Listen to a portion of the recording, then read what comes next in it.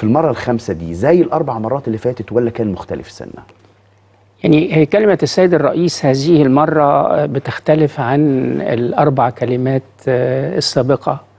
لأنه السيد الرئيس في كلمته يوم الثلاثاء القادم تحدث تحدث عن موقف مصر ورؤيتها للأمم المتحدة كمنظمة دولية شاركت مصر في تأسيسها. آه، في عام 1945 نعم. من ضمن كنا من ضمن 46 دولة آه، أسست أسست هذه المنظمة اللي أصبحت عضويتها اليوم 193 دوله, دولة, دولة. نعم. وفي هذا الإطار اسمح لي أشير أن الجمعية العامة للأمم المتحدة اللي بتعتبر أحد آه، من من ست أجهزة الرئيسية في الأمم المتحدة هي ال- ال- الجهاز الوحيد اللي كل الدول الأعضاء في الأمم المتحدة ممثلة فيها. نعم. المية تلاتة وإن كل الدول الأعضاء عندهم صوت واحد. مفيش مفيش، تمييز آه. بين دولة وأخرى. فبمعنى آخر إن الجمعية العامة هي أكثر أجهزة الأمم المتحدة ديمقراط ديمقراطية نعم. يعني بتاعت الحقوق للجميع بشكل متساوي. مف... تمام. مفيش فيتو يعني. آه وبالتالي ده اللي بيضفي أهمية قصوى من منظور الدبلوماسية ال- ال- الدولية أو الدبلوماسية متعددة الأطراف لاجتماعات الدورة آه، الدورة العادية للجمعية العامة آه، ال- 73. ال- ال- آه، 73 اللي هي الدورة العادية وفي دورات استثنائية ودورات خاصة صحيح. لكن لماذا العالم ده السبب لماذا العالم كله بينتظر الفترة اللي بتسمى general debate أو المناقشة العامة العشرة أيام الأول من افتتاح الدورة اللي بيتحدث فيها رؤساء الدول والحكومات ورؤساء الوفود ويشرحوا موقف بلادهم تجاه العديد من القضايا الدولية وال- والإقليمية سواء كانت مد- مدرجة على آه، جدول أعمال الدورة أو؟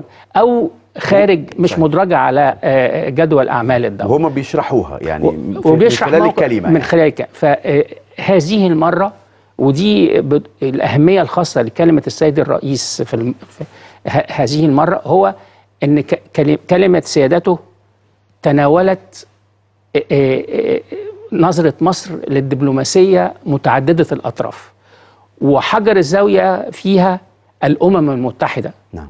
وخلال الكلمة تعرض السيد الرئيس لرئاسة مصر القادمة للاتحاد الأفريقي في عام 2019 آه، تعرض آه، السيد الرئيس لرئاسة مصر لمجموعة آه، السبعة وسبعين والصين ودوت مصر مؤسسة مؤسسة لمنظمة الوحدة الأفريقية اللي لاحقا أطلق عليها الاتحاد الأفريقي.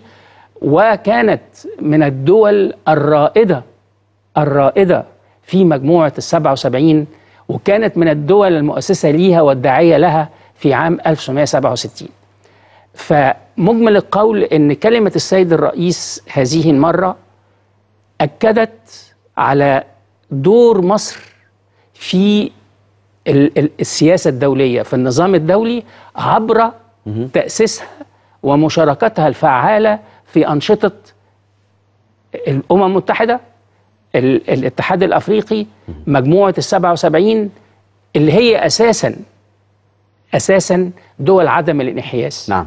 فمصر في كل هذه المنظمات وهذه التجمعات كانت دائما قوة رئيسية قوة تعمل من أجل السلام والأمن العالميين وت- وما تعمل أيضا للحيلولة دون نشوب النزاعات المسلحة. وتسوية النزاعات دي, المسلحة دي وجهة نظرنا إحنا يا فندم ولا ده هكذا يرانا العالم؟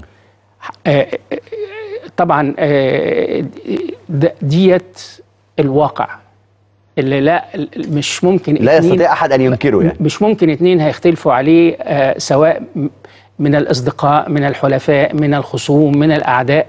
محدش هيختلف عليه.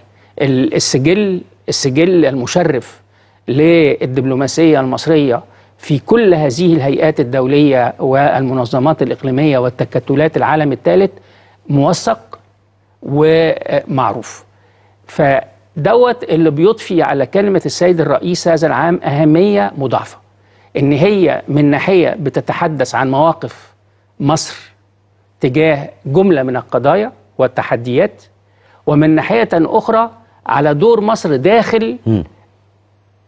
الأمم المتحدة وداخل المنظمات الإقليمية الأخرى.